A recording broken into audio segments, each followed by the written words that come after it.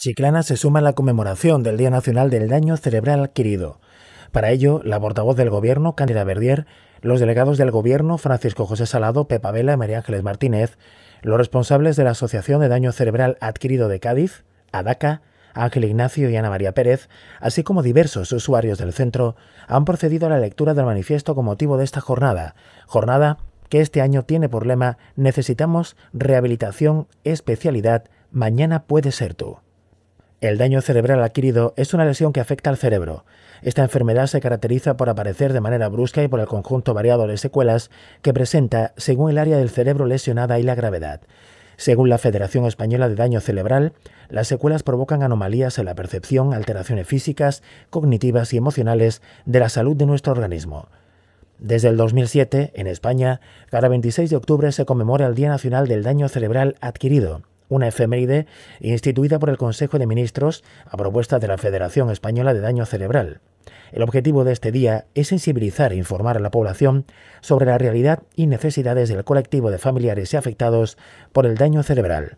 Según datos oficiales, en España, 420.000 personas conviven a diario con esta enfermedad cuya principal causa es el ictus. Le siguen los traumatismos cráneoencefálicos y enfermedades como las anoxias, los tumores cerebrales o las infecciones. Cabe destacar que el 44% de las personas que sobreviven a un ictus desarrollan discapacidad grave por el daño resultante. Que vamos a leer entre todos un manifiesto, un manifiesto para el Día Mundial del Daño Cerebral, porque ellos tienen como eslogan necesitamos rehabilitación especializada, mañana puede ser tú porque son situaciones en las que cualquiera de nosotros y de nosotras nos podemos ver. Así que todo nuestro apoyo en, nombre del alcalde que, quería estar con vosotros aquí y no ha podido ser, y queremos daros el ánimo y la esperanza de que de todo se sale y de esto también, ¿no? O por lo menos con la ayuda vuestra. Así que mucho ánimo y pasamos a leer el manifiesto.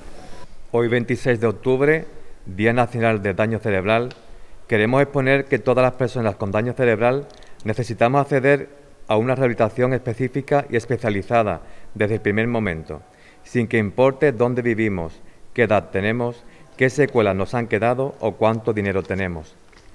La neurorehabilitación es muy importante porque sirve para que podamos recuperar nuestra antigua normalidad en las mejores condiciones posibles y hacer cosas como coger el autobús, subir unas escaleras o acordarte de felicitar a tu hermano por su cumpleaños después de sufrir un daño cerebral. Tiene que existir una coordinación sociosanitaria para que esta atención no se detenga con el alta hospitalaria mediante activación de un código daño cerebral. La inclusión de la familia como beneficiaria y no solo como parte colaboradora del proceso de atención para que reciba la información, así como la formación y el apoyo psicológico que necesitan durante todo el proceso.